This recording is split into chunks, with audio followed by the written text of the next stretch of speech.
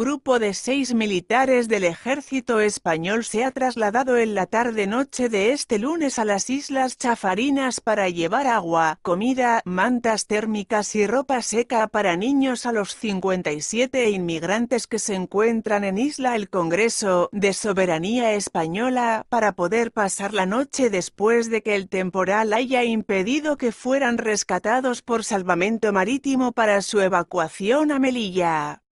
La ciudad autónoma está en alerta amarilla por fenómenos costeros adversos con olas previstas de hasta 3 metros de altura.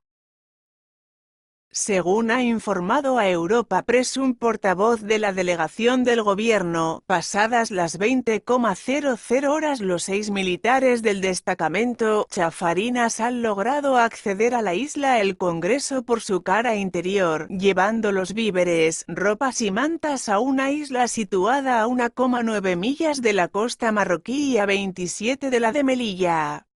La citada fuente ha indicado que, a falta de una confirmación definitiva, las personas que se encuentran en dicho archipiélago, que forma parte de las Islas Chafarinas, suman un total de 57, de los cuales 47 son subsaharianos, 3 niños y 44 mujeres, de las cuales dos están embarazadas y en aparente buen estado, y 10 del sudeste asiático, 7 hombres y 3 mujeres. En cambio, Elena Maleno, de la ONG Caminando Frontera, ha dado otras cifras al aseverar que han llegado 74 mujeres y 7 niños a las Islas Chafarinas. Al menos tres embarazadas y una dice estar a término de la gestación, ha detallado. Asimismo, la activista de derechos humanos ha lamentado que los víveres y la ropa de abrigo hayan sido llevados 13 horas después de su llegada y que vayan a pasar la noche en la isla ante la falta de medios para su traslado.